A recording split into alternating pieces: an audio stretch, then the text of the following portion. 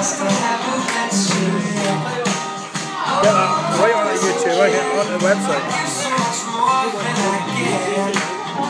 Right?